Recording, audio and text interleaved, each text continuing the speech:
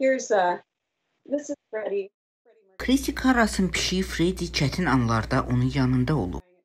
Mən ABŞ-da um, COVID-19-a to be yüngül formada yoluxan ilk insanlardan oldum. COVID-19. Sağaldıqdan sonra Seattle-da yaşayan yazıcı nə isə bir iş görmək I Qan verməyi sevmirəm, lakin bunu elm üçün etdiyimə görə məmnunam. science. Karras Adaptive Biotexnologiyalar və Microsoft tərəfindən həyata keçirilən Immune Race adlı klinik araşdırmada iştirak edir. Baş həkim Lance Baldo bu araşdırmanın diaqnostik və anticism testlərindən fərqli olduğunu deyir. Bu araşdırmalarda virusun bədənə təsirinə baxılır. Burada isə biz bədənin virusa təsirinə baxırıq.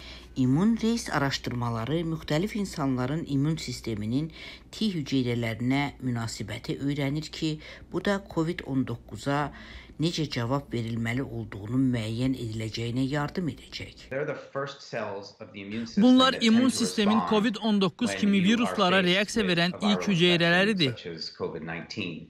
T hüceyrələrinin COVID-19-a necə cavab verdiyini görmək tədqiqatçıların daha yaxşı müalicə və peyvəndlər yaratmalarına yardım edə bilər.